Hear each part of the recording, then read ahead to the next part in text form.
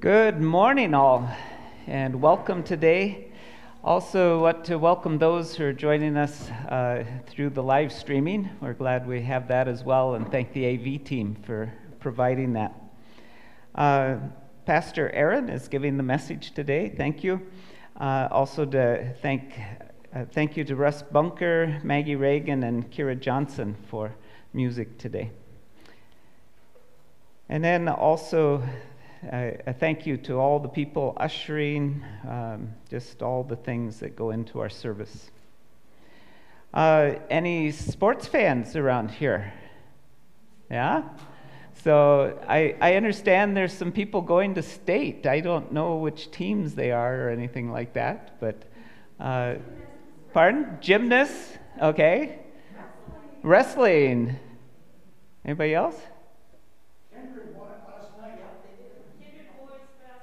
Okay, Kindred. Yay, Kindred, go. See, that's in North Dakota, isn't it? all right, we could talk sports all morning, but we better not. So, uh, thank you for Calvary's outreach ministry. It's just amazing what happens through Calvary through that ministry. Uh, and there's been many requests for furniture these last weeks. Uh, there's many people coming to Perham right now for employment. So uh, needing a helping hand, getting settled. And the garage is empty. Huh. So, immediate need of twin, double, and queen beds, dressers, couches, end tables, and storage shelves, kitchen tables, and chairs. So, um, presently, there's enough living room chairs. So, we ask all donations to be in good condition and spread the word, and then call Cindy Olson if you have these items. Thank you. Uh, today, once again, we'll be celebrating communion. Uh, those watching the service live stream, uh, you may join communion, uh, provided you have wine or grape juice and uh, bread or crackers available. And then here in the sanctuary, you've received a prepackaged thing. And if there's someone here who hasn't dealt with these yet, they're just a little tricky, okay? So the, on top, there's a. Um, a clear plastic you got to get separated from the little tab here. So on the tab, look for the clear plastic, and then once you get that open, you get the wafer, and then the grape juice is there after that. This Wednesday is the last in our series of the walk, um, and the focus this week is the faith practice of sharing our faith in our words and our actions. Um, so there's a 10 a.m. online discussion for adults on Wednesday, and then uh, 6:30 to 7:30 worship, followed by 7 to 7:30 small groups in person, adults, confirmation students, and uh, high school. And uh, fifth and sixth grade is, grade is at 5:15. No family Sunday school.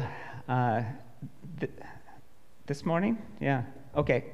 Uh, and it resumes next week on Palm Sunday. All right. Lisa Peterson is going to uh, share. Uh, Want to? Well, I'm going to steal the thunder. So uh, we're up to eight thousand dollars. I understand for. Uh huh. Eight thousand three hundred. And so thank you for generosity. Uh, I've heard talk of $10,000 in the past of the 40 days of giving. So uh, well done, Calvary. That's our goal. Good morning. Um, I am speaking today as a representative of the Stewardship Committee, invited to share a message with you about the 40 Days of Giving campaign. First of all, I'd like to echo Vicki Knutsen's question she posed in this week's weekly word message. That is, if we have 40 days of giving, does that mean the other 325 days of the year are days of receiving? Might they also be days of giving? Might this be a challenge to us to continue to be generous to our neighbors in need beyond the 40 days of Lent? I think maybe this should be our next goal. Once we meet and perhaps exceed our goal of raising $10,000 for ELCA World Hunger through our 40 days of giving. I am confident we will meet this need and probably exceed our goal. As I began my 40 days of giving study in this pamphlet provided by the ELCA World Hunger Campaign entitled What will it take to end hunger? There was something in the very first week's lesson that caught my attention. It said, We might believe the message of Lent is to practice private piety. Yet Jesus focuses not on the mere practices of faith, but on the community of faith.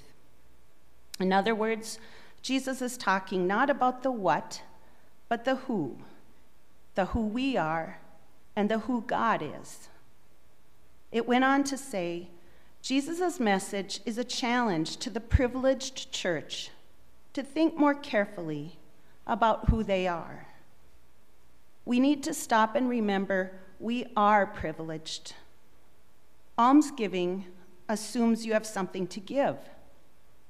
Even fasting assumes that one has the means to make choices about when to start and stop their hunger.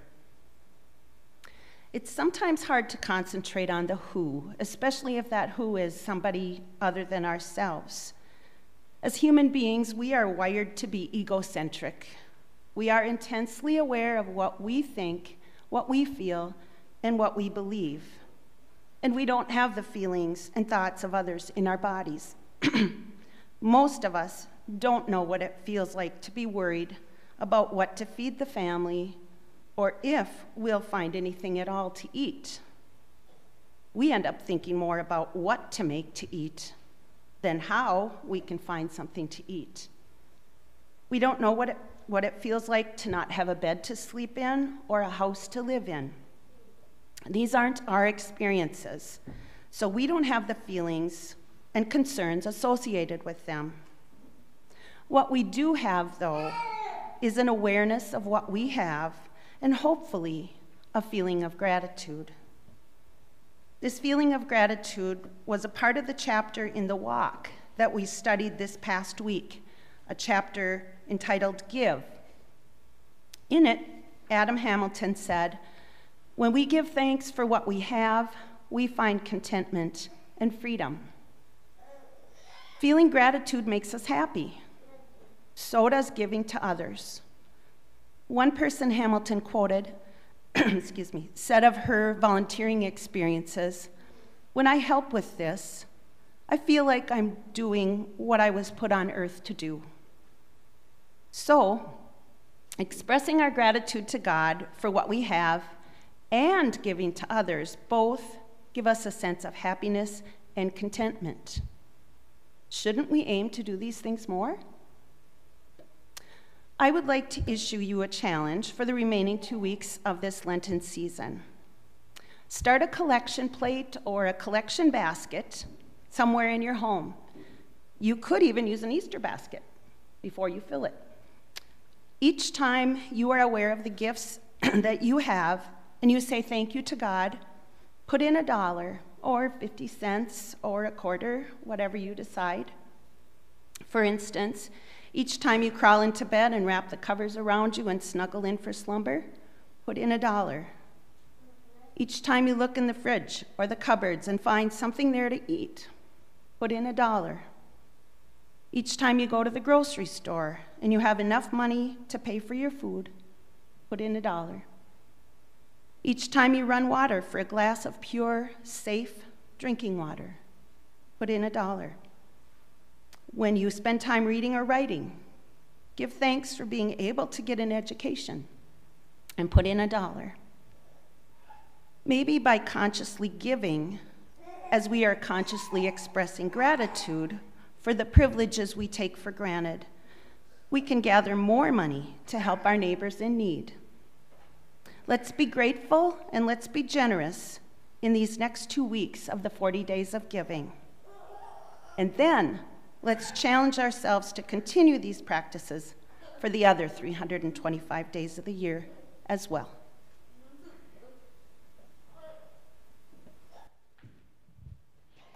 Thank you, Lisa, and thank you, Calvary, uh, for all that, that you do. Our um, first song is Lift High the Cross.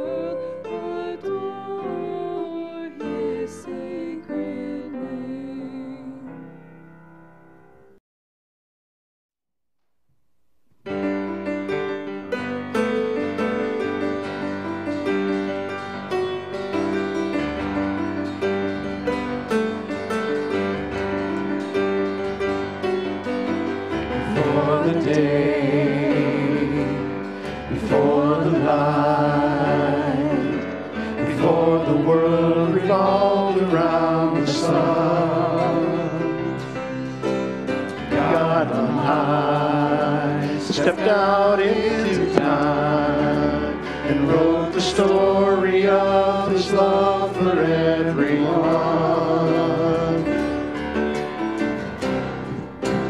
He has filled our hearts with wonder so that we always remember you and I are made to worship. You and I are called to love. You and I are forgiven and free.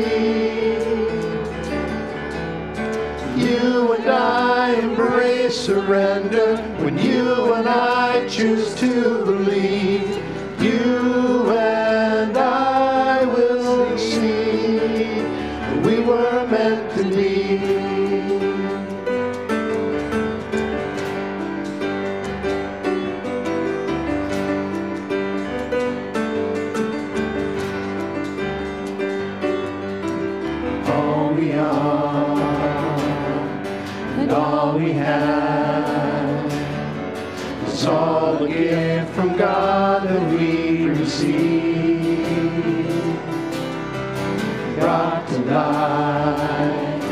Open up our eyes to see the majesty and glory of the King. He has filled our hearts with wonder so that we always remember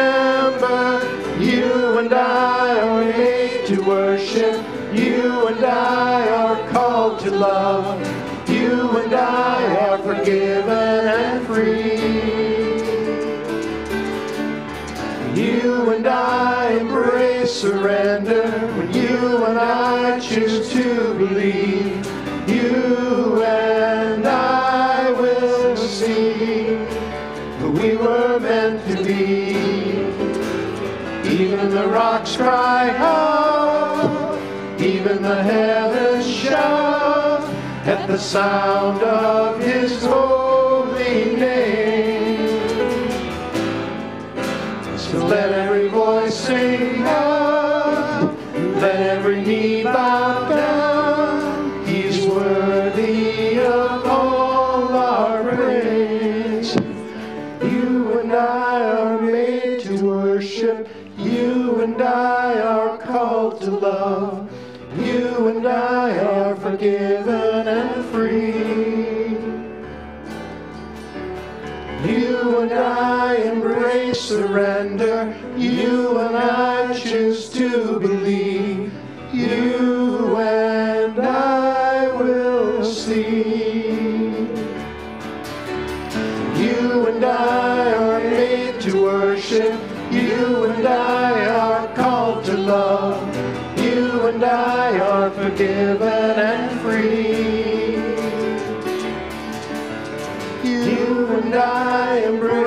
Surrender. You and I choose to believe. You and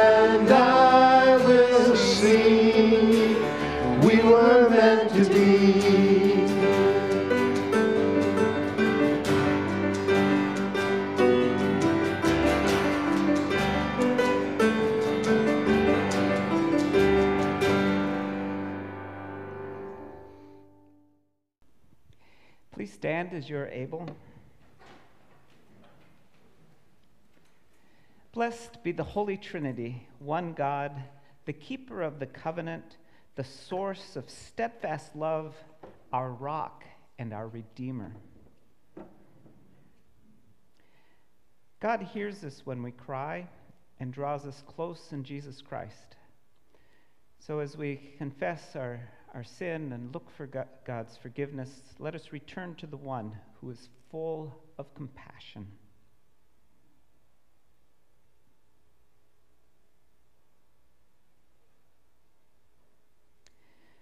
Fountain of living water, Pour out your mercy over us.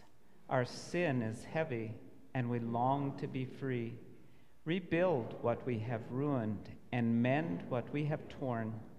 Wash us in your cleansing flood. Make us alive in the Spirit to follow in the ways of Jesus.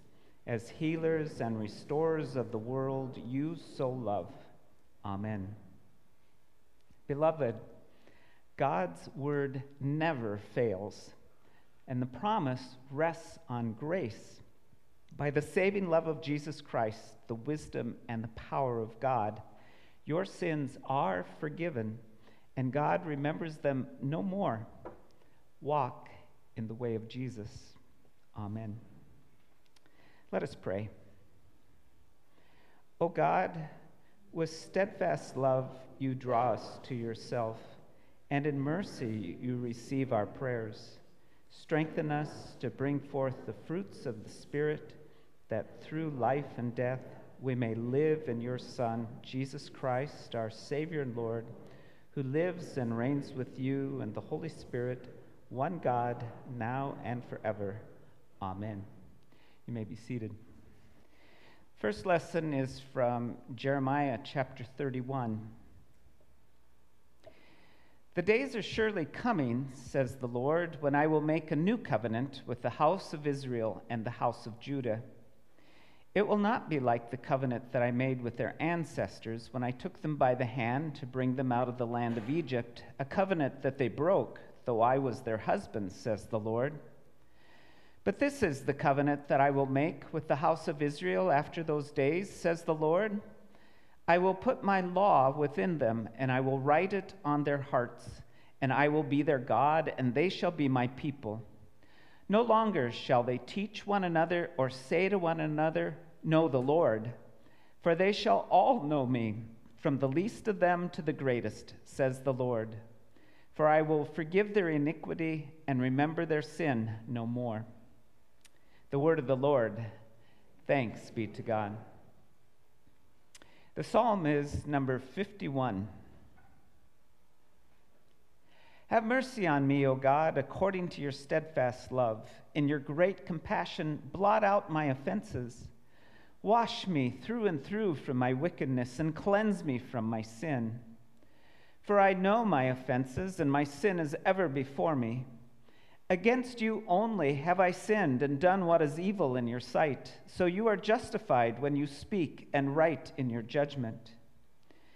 Indeed, I was born steeped in wickedness, a sinner from my mother's womb.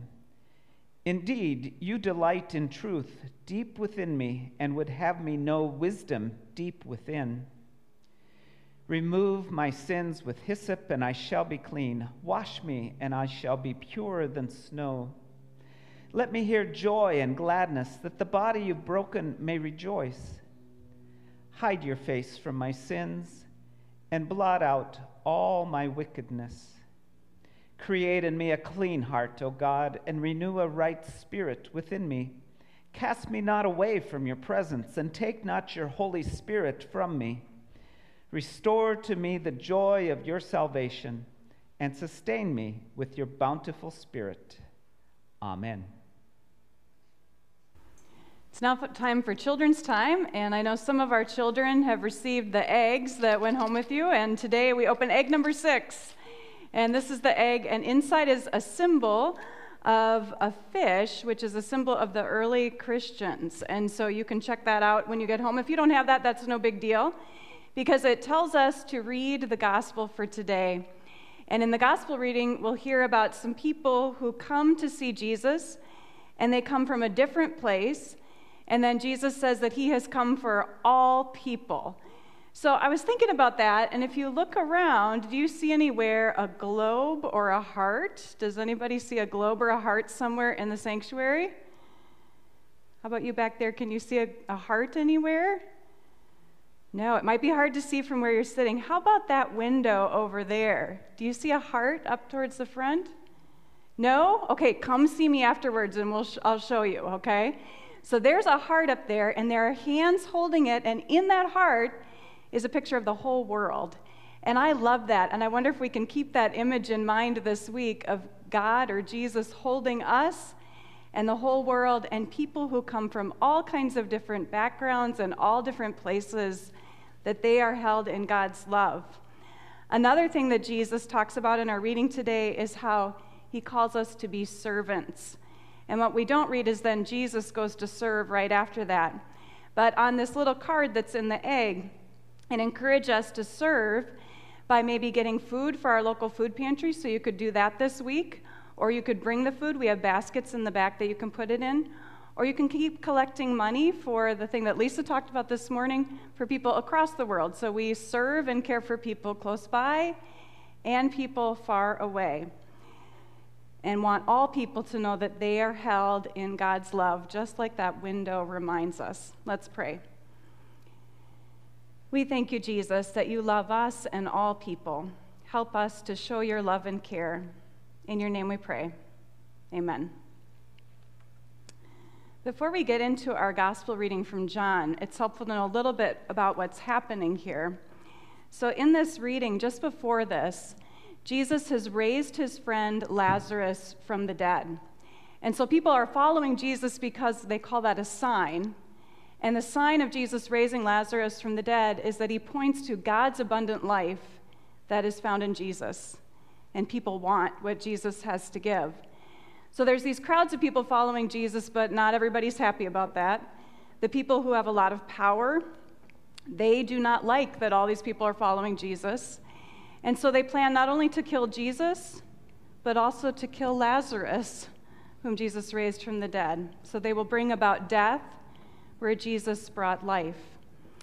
And then these religious leaders, these people of power, they lament, they kind of throw up their hands like the whole world has gone after Jesus. And then we get to our gospel reading today, where some Greeks who represent the whole world come to see Jesus. Here's our gospel from John chapter 12. Now, among those who went up to worship at the festival were some Greeks. They came to Philip, who was from Bethsaida in Galilee, and said to him, Sir, we wish to see Jesus. Philip went and told Andrew. Then Andrew and Philip went and told Jesus. And if we pause there for a moment, one writer, Pastor Serena Rice, she points out something in this gospel reading that I've never noticed before. The Greeks come and they want a private, special meeting with Jesus. But as we read, we discover they never get that. Instead, Jesus turns to the crowd and he will say he's come not just for one group, but the whole world. So they come and want this special meeting. They want to see Jesus. And the verse 23, Jesus answered them The hour has come for the Son of Man to be glorified. Very truly, I tell you, unless a grain of wheat falls into the earth and dies, it remains just a single grain. But if it dies, it bears much fruit. Those who love their life lose it, and those who hate their life in this world will keep it for eternal life. Whoever serves me must follow me, and where I am, there will my servant be also. Whoever serves me, the Father will honor. Now my soul is troubled. And what should I say? Father, save me from this hour? No. It is for this reason that I have come to this hour. Father, glorify your name. Then a voice came from heaven I have glorified it, and I will glorify it again. The crowd standing there heard it and said that it was thunder. Others said an angel has spoken to him. Jesus answered, This voice has come for your sake, not for mine. Now is the judgment of this world.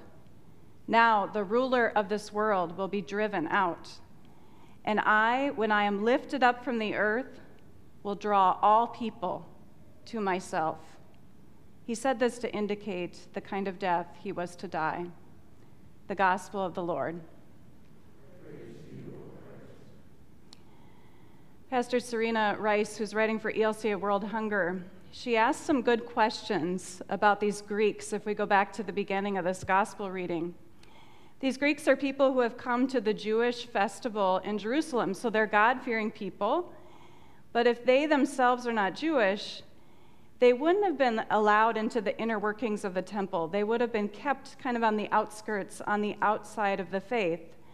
So they come to Jesus, and as they do so, do they come as people who haven't quite had equal access to God?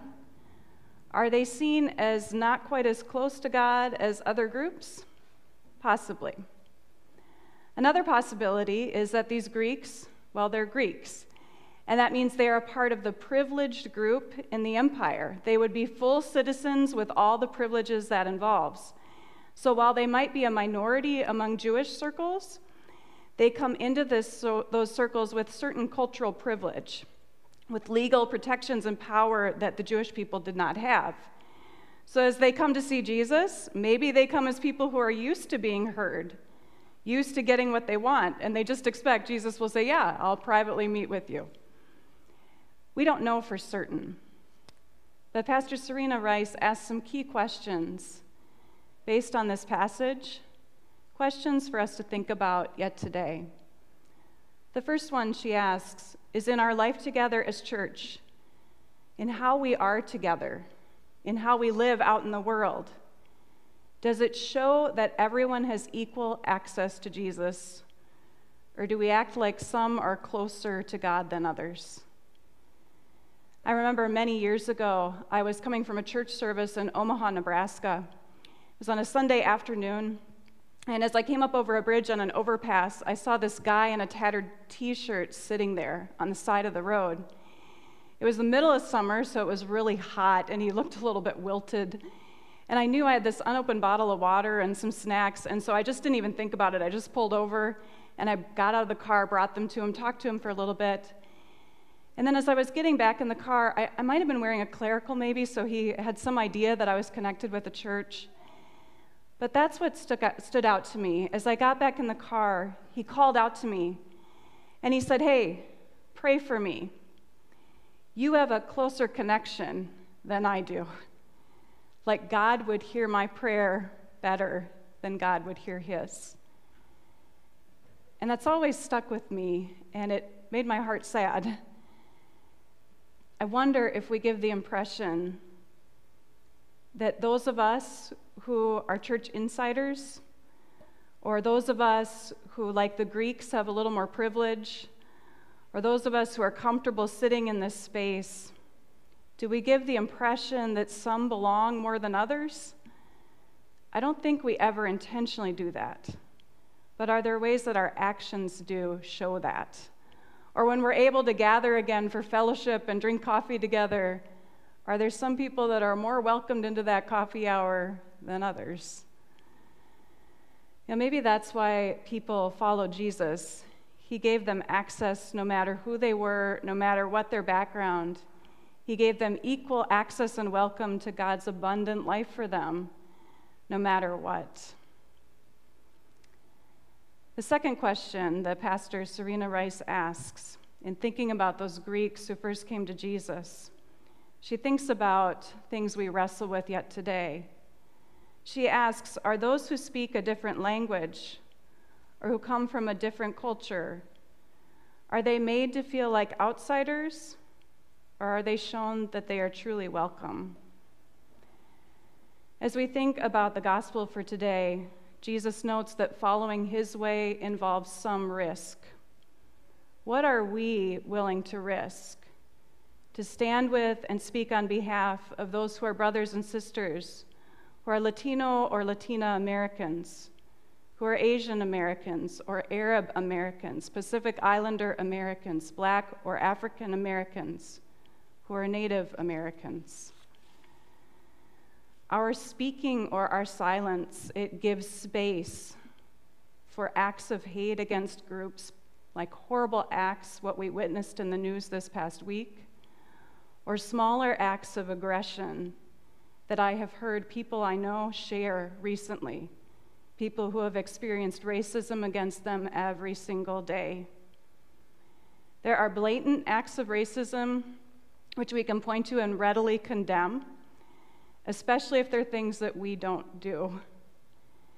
And sometimes that allows us to be able to point the finger at how racist other people are and ignore our own microaggressions against those who come from a different background than ourselves. It might be the jokes that get told, or the assumptions and stereotypes that are made that some fellow human beings have to endure every day. Or if we have not made those racist jokes or said those stereotypes, we all have heard them. We have witnessed them. And in those conversations, what has our response been? Has it been silence? Has it been quickly changing the subject to move on? I'm ashamed to say too often that has been my response. Because my own identity isn't the one being attacked or discounted, I've had the privilege to keep silent or to quickly change the subject to avoid the discomfort I might feel if I would speak out. If we consider Jesus' own mission to draw all people to himself, if we consider how Jesus takes up the cross and enters into injustice himself to show that God's way is different, seeing that way might it inspire us to risk the discomfort of refusing to keep silent, of not letting the jokes or those kinds of stereotypes stand? If we go back to our gospel reading, we don't know the full situation for those Greeks who came to see Jesus. We do know they were drawn to come see him.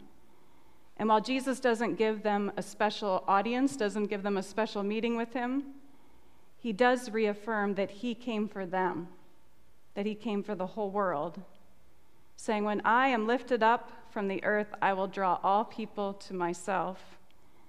And if Jesus is intent on drawing all people to himself, then he invites us into that same kind of ministry. Might we each think about ways we can grow in our understanding of people who are different from us? Whether it's to read a book about racism or watch a video from someone who shares their experience, or getting to know someone and listen to a voice that is different from our own.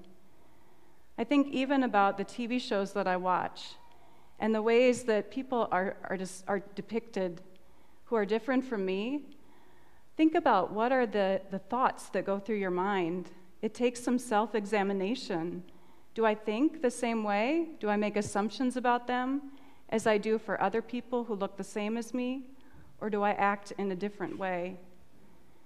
Jesus invites us into a way of living that is about life abundant for you, for me, and for every person on this planet. If we shift gears for a moment, several years ago, I read about a priest, Father Gregory Boyle and I heard an interview with him. He's a man that has done extensive work with gang members, gang members who often are in a place that is absent of hope. They feel like they have no other option. And he's even created businesses for them so that when they get out of the gangs, they can go work in these businesses and find a different way of life. His faith deeply shapes his ministry. And he shared that one night, late at night, he says he was walking through the crummy projects crummy apartment buildings where some people must live. And as he was walking, he saw a kid 16 years old sitting by himself in the projects late at night. And Father Boyle said, I sit down next to him. And the 16 year old said to him, It's funny you should show up right now. And Father Boyle said, Well, why? And the 16 year old said, Well, I was just sitting here praying. And I said, God, show me a sign that you are as great as I think you are. And then he said to Father Boyle, And then you showed up. And Father Boyle said he remembered how moved he was at that. That's the kind of new life and possibility that Jesus brings, that God can work through the prayers of a 16 year old gang member in the projects to show him that God is as great as he thinks God is. I was reminded of that story, and then I read again what Father Boyle said about it. He said, the day won't ever come when I am as holy as the people I'm called to serve. The day won't ever come when I have more courage or am closer to God than this 16 year old gang member sitting alone on his porch praying. Jesus has come that that 16 year old gang member may see that he may have life and have it abundantly. Jesus has come that a man sitting alone on a bridge who thinks he's not quite as close to God that that man may have life and have it abundantly.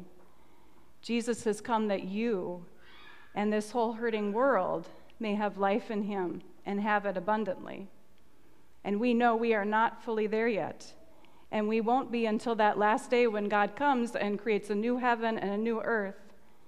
But in the meantime, Jesus keeps partnering with us and sends us out to work for this kind of justice and abundant life for all.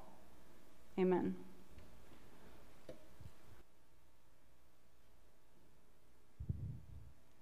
Please stand as you're able for the prayers. So, after each petition, I will say, Hear us, O God, and your response, Your mercy is great. So, relying on the, pros- uh, the promises of God, we pray boldly for the church, the world, and all in need. Lord, you wash us through and through and remember our sin no more. Make your church a community of forgiveness throughout the world. Give your people courage to forgive. Through them, show the world new possibilities. Bless ministries of repentance, reconciliation, and healing. Hear us, O God. Your mercy is great. You fill the earth with your presence, from tiny grains of wheat to the mighty thunder you call us to pay attention to your will for all creation. Grant weather that prepares the soil for seeds. Protect all from violent storms, flooding, and wildfires. We pray for all rescuers, volunteers, and others helping after the storms this week in the South. And we pray for recovery for those impacted by ice and snow earlier, and for those recovering from wildfires last year. Hear us, O God. Lord, racism plagues us, Lord. Guide citizens throughout the world to shape communities that reflect your mercy, justice, and peace for all people, and give them creativity to work for the welfare of all. And we especially pray this week for those mourning the shootings this last week in Atlanta. Open our eyes, Lord. Hear us, O God. Your mercy is great. You sustain us with your bountiful spirit. Restore the joy of all who need to know your presence, those who are lonely or feel unforgivable, those who feel far from you, those who need healing of mind or body, those who are dying, and all who grieve. Hear us, O God. Jesus calls us to follow him in life and death, empower this congregation in discipleship, equip children and teachers in Sunday school, confirmation, and learning ministries. Give us your truth and wisdom and teach us to follow Jesus. Hear us, O God. In the cross of Christ, your name is glorified.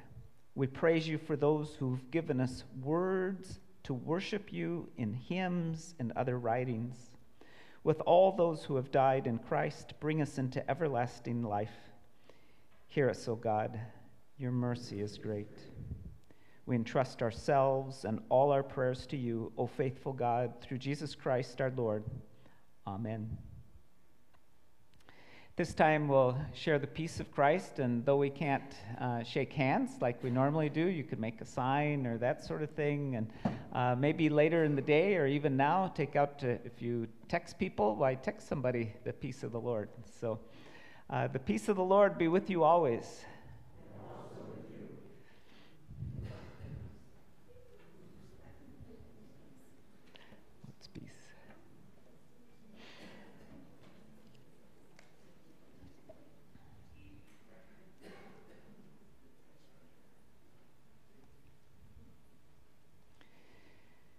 So, again, thank you.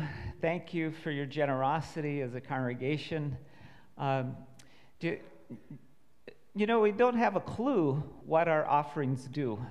You know, we have a little sense of that, but lives are changed, the world is changed. Uh, your, your giving makes a difference. Thank you for that. And there's various ways that you're able to do that. So thank you. Now, as we come to the table, let us pray.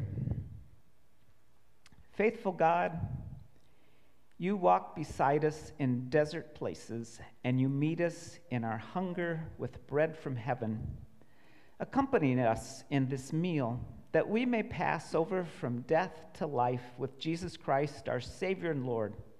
Amen. So, as we come to this meal that our Lord Jesus Christ shared with his disciples on the night of his betrayal, his arrest, and crucifixion, I would ask you to uh, lift your grape juice and wafer now as I speak the words of institution, but do not open it until we have prayed the Lord's Prayer.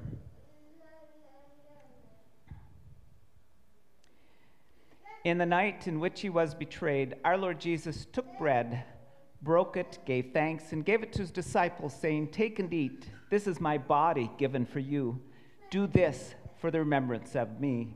And again, after supper, he took the cup, gave thanks, and gave it for all to drink, saying, This cup is the new covenant in my blood, shed for you and for all people for the forgiveness of sin. Do this for the remembrance of me. You may lower your, your cup. Join me in the Lord's Prayer. Our Father, who art in heaven, hallowed be thy name. Thy kingdom come, thy will be done, on earth as it is in heaven. Give us this day our daily bread, and forgive us our trespasses, as we forgive those who trespass against us. And lead us not to temptation, but deliver us from evil. For thine is the kingdom, and the power, and the glory, forever and ever. Amen. So you may be seated, and at this time, uh, you may uh, open that top layer, the clear plastic first, to take the bread, and then the next layer uh, with the grape juice. And so here, these words the body of Christ given for you, the blood of Christ shed for you. And for children or those not taking communion, hear this blessing. Jesus loves you, and Jesus promises that he is always with you and with us all. Amen.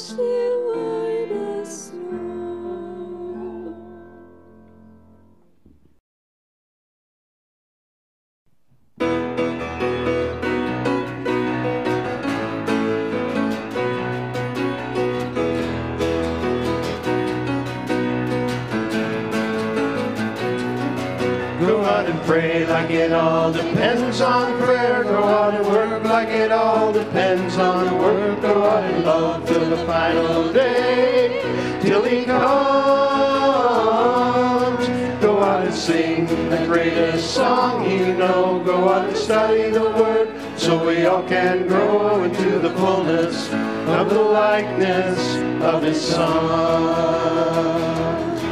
Go out and pray like it all depends on prayer. Go out and work like it all depends on work. Go out and love till the final day, till He comes.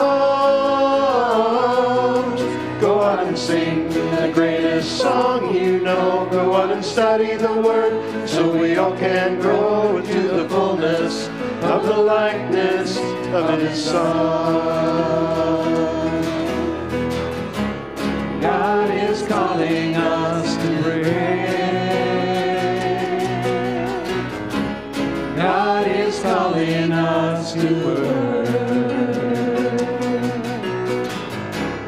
God is calling us to love, to sing, to study His Word. Disciples, now it's time like it all depends on prayer. Go out and work like it all depends on work. Go out and love till the final day, till He comes. Go out and sing the greatest song you know. Go out and study the Word so we all can grow into the fullness of the likeness of His Son. God is calling us to pray. God is calling us to work. God is calling us to love, to sing, to study His Word. Disciples, now it's time to one, two, three, four, on prayer. Go out and work like it all depends on work. Go out and love till the final day, till He comes. Go out and sing the greatest song you know. Go out and study the Word so we all can grow to the fullness of the likeness of His Son. May the body and blood of our Lord and Savior Jesus Christ strengthen you and keep you in his grace now and until eternal life. Amen. Let us pray. God of steadfast love, at this table you gather your people into one body for the sake of the world. Send us in the power of your Spirit that our lives may bear witness to the love that has made us new. In Jesus Christ, our Savior and Lord. Amen. Receive the blessing.